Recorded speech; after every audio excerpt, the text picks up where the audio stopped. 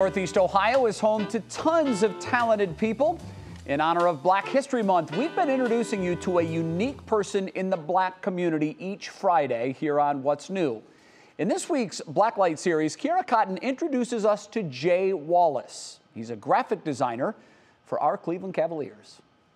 Jay Wallace may not be a name you recognize, but you're probably familiar with his work. Regular Cavs branded apparel like t-shirts, hats, you know, shooting shirts, basically anything that fans wear and players wear, there's a good chance that I was a part of it. Wallace is a graphic designer for the Cleveland Cavaliers, and his primary focus is apparel. Growing up, Wallace says he was always good at drawing, but never realized it could become a career. Just being African American in, in the arts, like we, we don't always necessarily know how to nurture that. What does your adult life look like? Right drawing and painting. Despite the uncertainty surrounding a creative career path, Wallace knew that he wanted to pursue the one thing he was passionate about.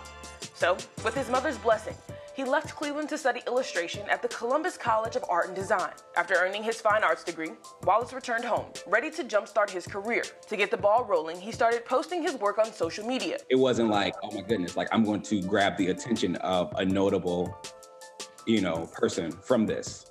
Uh, I mean, yeah, it was really just just putting it out there. His designs caught the eyes of important people, helping him secure jobs with the Cleveland Browns, Columbus Crew, and now the Cavaliers. I've been blessed to work for the teams that I grew up watching. How much more awesome can you get than that? How about seeing your work in the middle of downtown Cleveland? Wallace teamed up with Daniel Arsham to bring the For the Love, For the Land banner on the Sherwin-Williams building to life. It just looked way better than what it did on my computer. Jay Wallace loves Cleveland.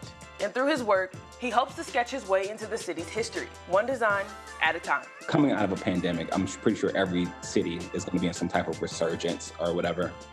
And I just want to be a part of that.